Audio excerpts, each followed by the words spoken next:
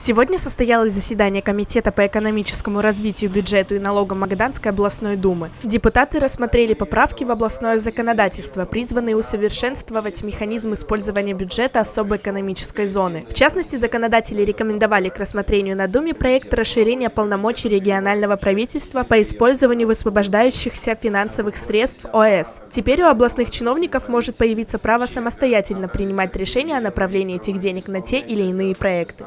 И сегодня вот очень существенно важно, мы приняли закон, который меняет структуру распоряжения правительством средств особой экономической зоны.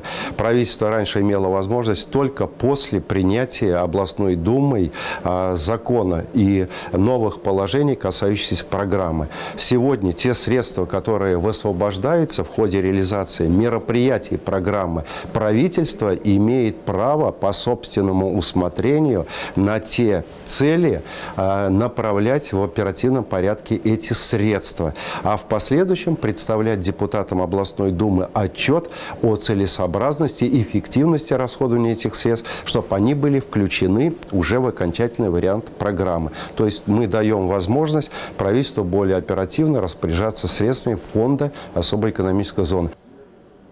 Цель – это ускорение решения ряда вопросов при строительстве многих крупных объектов. По словам Сергея Абрамова, сегодня фонд бюджет ОС уже не просто инструмент развития. В областном бюджете предусмотрено достаточно финансовых средств на капитальное строительство и модернизацию объектов инженерной и социальной инфраструктуры Колымы. В этих условиях фонд ОС выступает в качестве своего рода стабилизационного фонда.